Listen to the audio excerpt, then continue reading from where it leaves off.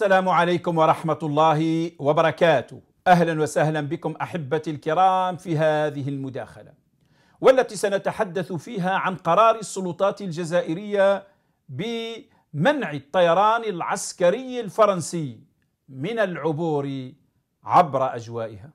بعد تصريحات الرئيس الفرنسي التي أغضبت الجزائريين وهزت أركان النظام الجزائري والحقيقة التي يجب أن يعلمها الجزائريون أن النظام الجزائري صار يتخبط وحيرين وش يديروا وليس كما تتوهمون لأنه غضب فرنسا على النظام إن كان غضب بالفعل وإن كنت أذهب في اتجاه أن فرنسا دائما تدرك أن الجزائر أو النظام الجزائري هو مزرعتها الخلفية وأن النظام الجزائري تحت وصايتها. وأنه لا يمكنه أن يتجرأ ويخرج عن ما تريده باريس وما يريده قصر الإليزي. هذه الحقيقة اللي لازم تفهموها وهذا الأمر مش وليد اليوم وليد سنوات من النفوذ والهيمنة نفوذ في الأجهزة الأمنية نفوذ في الرئاسة نفوذ في المؤسسة العسكرية وما إلى ذلك من هذه الأمور. كيف لا يحدث ذلك ونحن نشاهد مدير الأمن الداخلي جنرال وسيني بوعزة نزلوه لجندي وراه يقبع في السجن بتهم الثراء غير المشروع وأمور كثيرة هذا مدير الأمن الداخلي الذي من المفروض يحمي الأمن الداخلي. مدير الأمن الخارجي الجنرال يوسف بوزيت أيضا تم إيداعه السجن بتهمة التآمر مع دولة أجنبية. هذا الأمن الداخلي والأمن الخارجي اللي هما أهم مصالح في الاستخبارات الجزائرية هذا من طينة الناس اللي راهم موجودين فيها.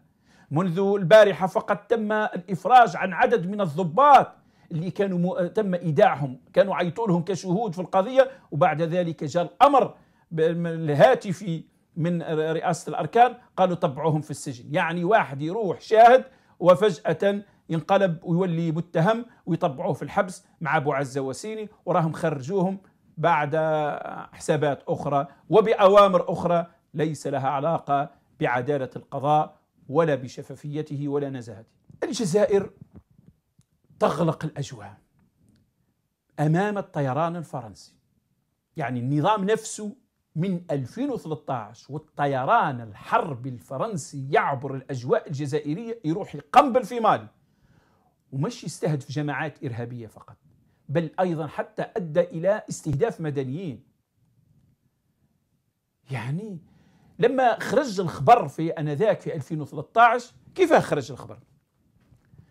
في البداية بدأوا يتداولوا بعض الناشطين وبعض الإعلاميين خبر أنه الطيران الفرنسي يعبر الأجواء الجزائرية. النظام سكت. سكت.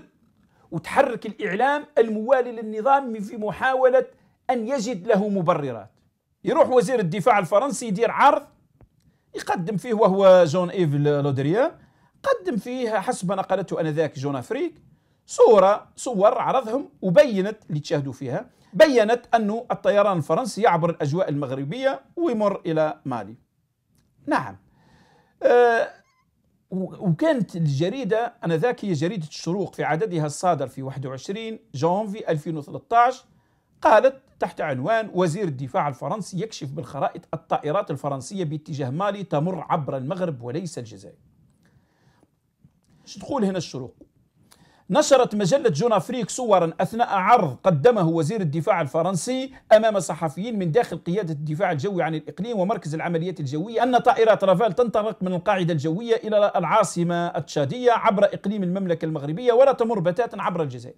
وذلك على عكس التصريحات التي أدلى بها وزير خارجية فرنسا لوران فابيوس الذي فاجأ الرأي العام الجزائري بإعلانه حصول باريس على ترخيص من السلطات الجزائرية بعبور الطائرات الفرنسية مجالها الجوي في طريقها إلى مالي. وهي الخطوة التي استنكرها الجزائريون بما في ذلك الطبقة السياسية التي اعتبرت الخطوة الجزائرية إن تمت حقا. أنها تواطؤ مع مستعمر قديم وهذا بتعمد الدوس على نص قانوني يتمثل في المرسوم التنفيذي رقم 10199 المؤرخ في 30 أوت 2010 الذي يحدد شروط السماح بعبور الطائرات الأجنبية على التراب الوطني. وهو المرسوم الذي ينص على أن طلب عبور أجواء التراب الوطني يجب أن يودع على الأقل 21 يوما قبل تاريخ العبور. والغريب أن فرنسا لم تتقدم بطلب في هذا الشأن ولكنها أعلنت على لسان هولاند ووزيريه للخارجية والدفاع أن الجزائر رخصت باستعمال الأجواء الجزائرية بمحض إرادتها. ومن شأن التطورات الأخيرة أن ترفع الحرج والضغط بعد الخطوة غير المتوقعة خاصة وأن الطائرات الفرنسية ومنذ بداية الحملة العسكرية تقصف مواقع لجماعة أنصار الدين التي دافعت عنها الجزائر في الفترة الأخيرة ونفت عنها شبهة الإرهاب على عكس فرنسا. هذا المقال نشرته الشروق في 21 جانفي. وبعد طبعا ستة أيام يعني 15 جانفي 2013 آه، فرانسوا هولاند في الإمارات أكد قال بأن السلطات المغربية سمحت للطيران الفرنسي بعبور أجوائها باستخدام مجالها الجوي. في أربع جاء ذلك بعد تصريحات لفابيوس آه، وزير الخارجية الفرنسي آنذاك في 14 جانفي 2013 صرح بأن الجزائر سمحت للطائرات الفرنسية بعبور أجوائها نحو مالي. يعني 14 جانفي آه، فابيوس قال هذا الكلام. 15 آه، جانفي في الإمارات قال هولاند الرئيس الفرنسي آنذاك أن الطيران عبر الأجواء المغربية. آه عمار بلاني في نفس اليوم وكان الناطق الرسمي باسم وزارة الخارجية هو الآن مبعوث ما أدري شواش للصحراء الغربية ودول المغرب العربي راه يهضر في كل. في 14 جونفي 2013 أكد عبور طائرات حربية فرنسية مجالها الجوي بموافقتها. ونذكر هنا أن الناطق الرسمي باسم الخارجية الجزائرية عمار بلاني في تصريح للموقع الإخباري الجزائري الخاص كل شيء عن الجزائر هو الأول بخصوص القضية التي استغربتها وسائل الإعلام المحلية إن قرار الفتح المجال الجوي الوطني يتخذ بصورة سيادية بالنسبة للجزائر في كل مرة. نعتقد فيها أن أن طلب العبور مبني على ضرورة واضحة. وأوضح بلاني أنه على هذا الأساس تم تقييم الطلب الفرنسي الذي نفذ وفقا للطريقة المتبعة في الجزائر كانت المعلومات تتحدث أنذاك أن فرنسا لم تتقدم بأي طلب. راهي مباشرة. قضوها بتليفون رغم أن المرسو الرئاسي راكم تشاهدوا فيه في الصورة تحدث على إجراءات لازم له 21 يوم. من المرسوم الرئاسي اللي صدر في في 30 أوت 2010 وقع أحمد ويحيى يقول في المادة الخامسة آه، المادة السادسة يجب تقديم طلب رخصة التحليق مع أو بدون الهبوط حسب الأشكال المحددة في المادة الخامسة حسب الأجال الآتية. بالنسبة للرخص الدائمة تسعون يوما قبل بداية الفترة المطلوبة. بالنسبة للرخص المؤقتة للرخص المؤقتة 21 يوم. يوما تاريخ تنفيذ التحليق المرتقب في حالة ما إذا كان الأمر يتعلق بكل, بكل الطائرات العسكرية بما فيها تلك الناقلة للأفراد والعتاد والأجهزة العسكرية.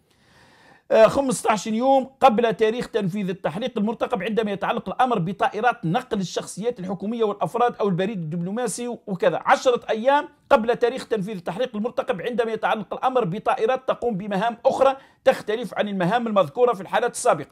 معناها أنه في حالة الطيران العسكري هذه رخصة مؤقتة 21 يوم.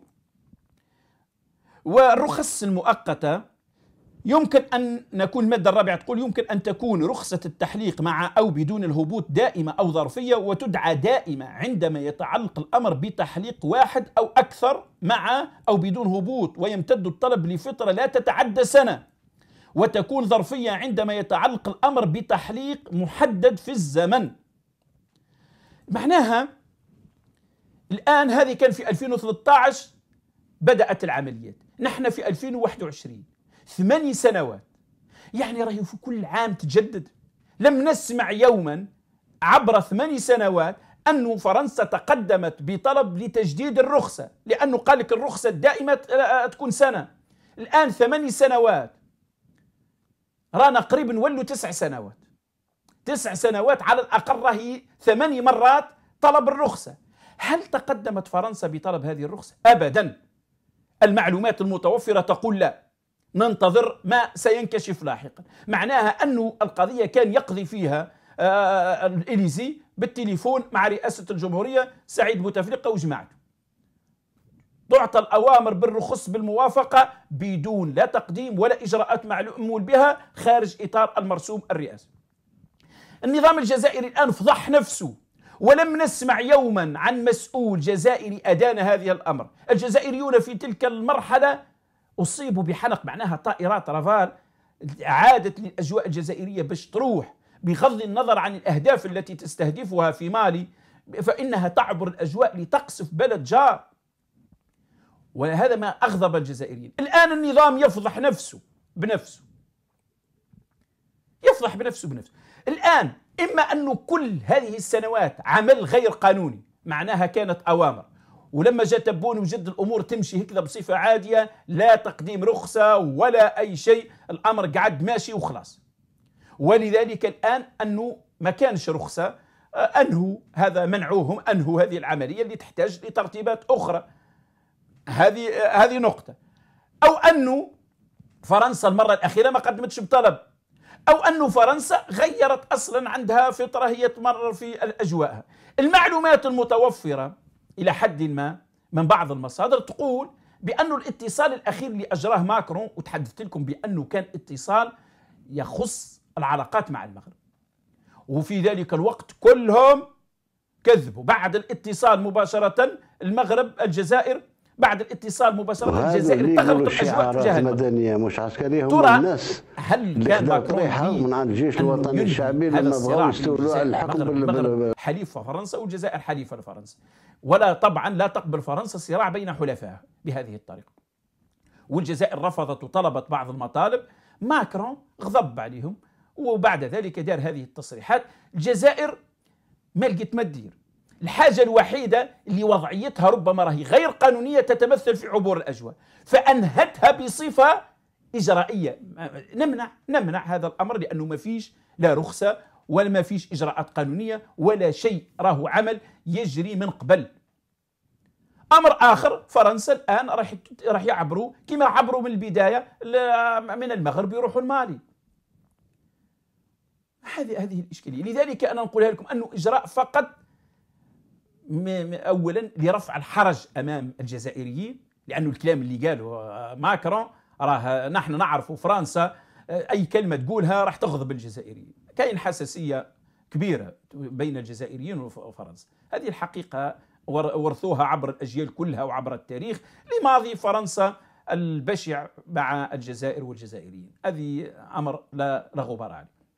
لذلك أنا نشوف الأمر أنه داروا أضعف الإيمان. داروا أضعف الإيمان. اولا ما ردوش على الشق اللي يخص الحاضر. استدعوا السفير الجزائري للتشاور وما استدعوش السفير الفرنسي اللي قبل استدعوه ثلاث مرات. أو قبل تم استدعاء السفير الفرنسي ثلاث مرات فيما يخص لوموند فيما يخص آه، أعتقد تحقيق TV5 وما إلى ذلك. ثلاث مرات تم استدعاء. الاستدعاء ماذا يعني؟ أو مش يجيبوه؟ معناه يهينوه راهو يجيبوه يعطوه رسالة احتجاج. رسالة الاحتجاج تصل بسرعة إلى قصر الإليزي لكن استدعاء سفير الجزائري لا يمكن أن يوصل أي رسالة. فيها مطالب. الرسالة لما تقدمها إلى جهة أخرى فيها مطالب. إما تطلب من الرئيس الفرنسي عدم التدخل والاعتذار والتوضيح وما إلى ذلك من هذه الأمور. لكن الجزائر ما قدموا حتى طلب. ما هو مطلبكم من فرنسا؟ عدم التدخل في الشؤون الداخلية غير المقبولة. معناها تدخل آخر راهو مقبول. ونتحدثنا على التدخلات الفرنسية. راهي لا تحصى ولا تعد في الشأن الجزائري. وما نتفضوش إذا الإشكالية وين راهي؟ أنه فقط كأنه استغلال لما يحدث من أجل تجاوز بعض الأمور. وأخطرها طبعا الدعوات إلى الحراك في 5 أكتوبر. هذه هي القضية الخطيرة للغاية. لذلك إخواني ما تظنوا بأنه ما حدث راه دليل على قوة الجزائر. الجزائر حقيقة راهي كان من الممكن تكون أقوى وكانت قوية في مراحل معينة. أضعف هذا النظام. المشكلة راه نظام ضعيف. البلد عندها شعب عظيم وعندها تراث كبير وعندها ثروات هائلة. كان من الممكن أن تكون صانعة قرار في المنطقة وفي القارة كلها.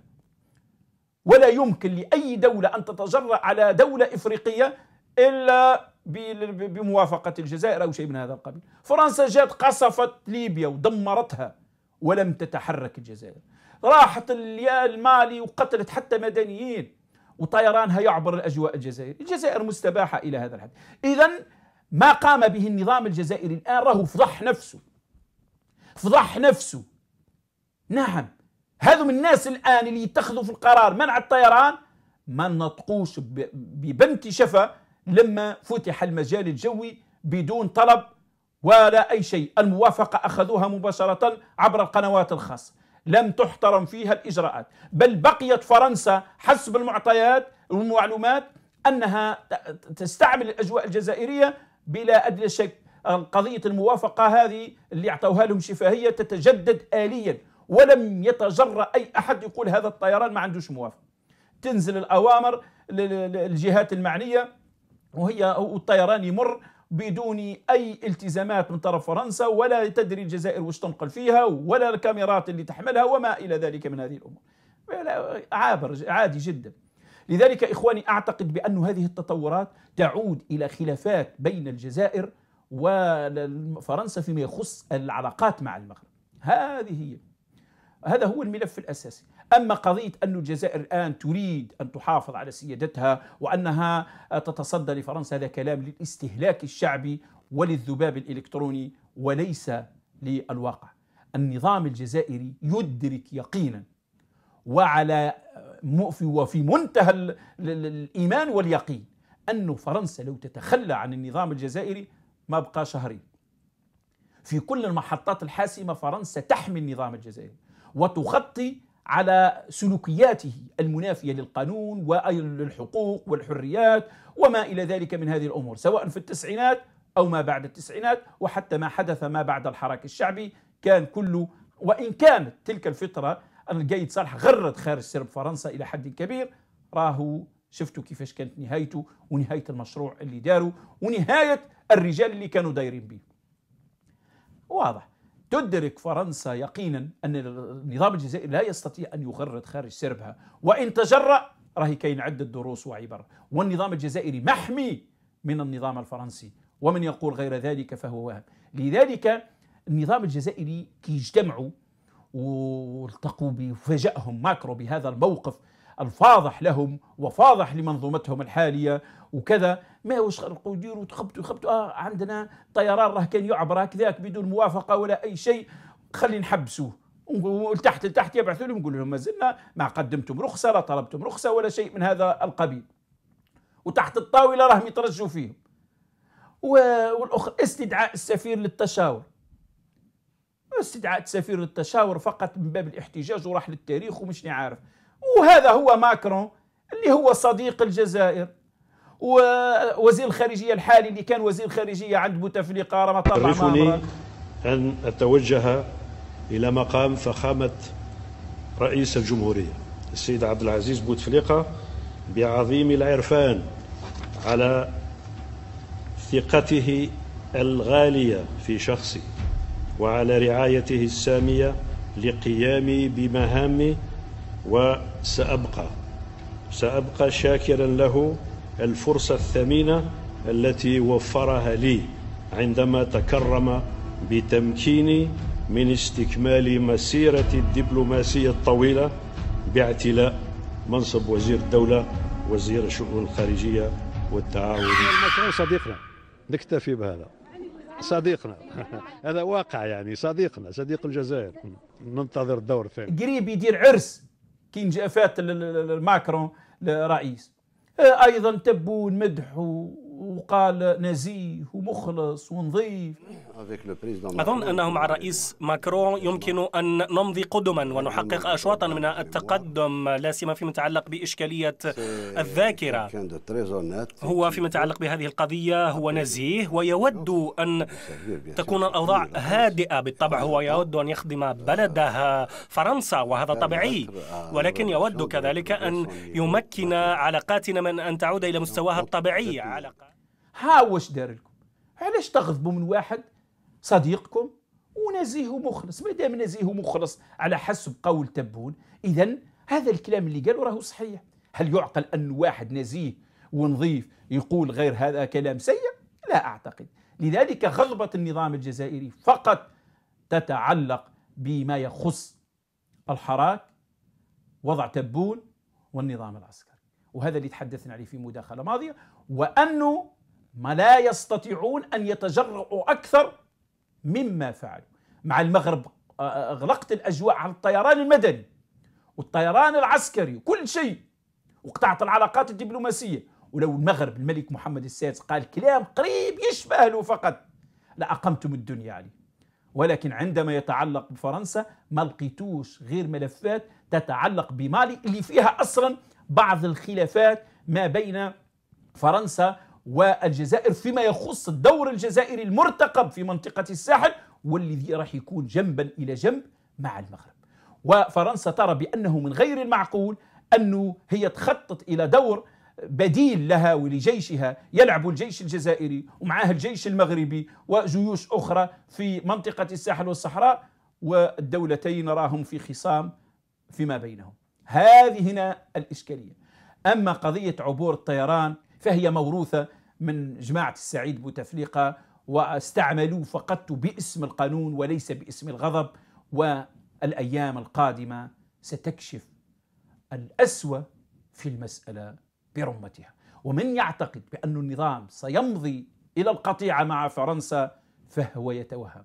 متى يمكن أن تحدث هذه القطيعة عندما يكون الجزائر فيها نظام منتخب شعبيا نظام يعبر عن إرادة الشعب حينها ستكون مواقف الدولة مع فرنسا بما يخدم مصالح البلدين وليست دولة في خدمة مصالح دولة أخرى وهو ما تقوم به الجزائر على مدار سنوات. لا هم للنظام إلا مصالح فرنسا أما مصالح الجزائر فهي في مزادات داخلية وخارجية. نكتفي بهذا القدر ألقاكم بإذن الله في مداخلة أخرى. إلى ذلكم الحين. أستودعكم الله الذي لا تضيع ودائعه. والسلام عليكم ورحمة الله وبركاته.